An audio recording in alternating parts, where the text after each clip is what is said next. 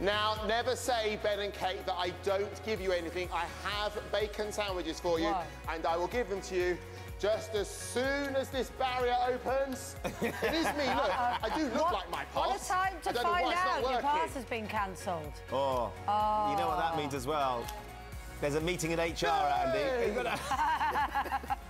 You've gotta- the next thing he's got to negotiate is our lifts. I know. And as we know, They take forever. they are, he's not going to be up here before half past eight. Now back to Susanna and Piers, and I've just had a message actually from Susanna Piers. Pearce? Sorry, I was Kate- just about to say. In what universe could you possibly No, mistake Kate Garraway? I don't know Garraway? insulted me or him? I'm so Actually. sorry. I was about to say I've just had a message from Piers on Twitter, so my mind was elsewhere because we were talking about Your the mind fact. Piers Morgan, Oh, well, don't